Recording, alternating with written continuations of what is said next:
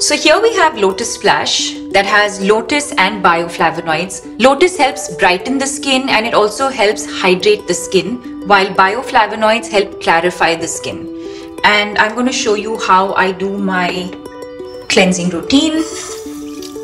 Wet the face and I take about two pumps in my hand. It's a little creamy in texture lathers, but just the right amount. Don't ignore the forehead. Get under the eye. Don't ignore the neck. Do this for about a minute.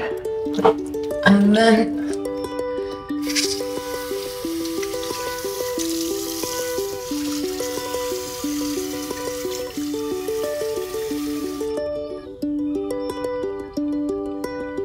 I used to rub my skin all earlier. I used to do this. And then I learned. So I would consciously pat dry my skin. Feels very, very hydrated. Doesn't feel dry. You know, sometimes when you use a cleanser, sometimes you feel like it's just stripped everything off your skin. And this doesn't feel like that. It just feels really hydrated and plump.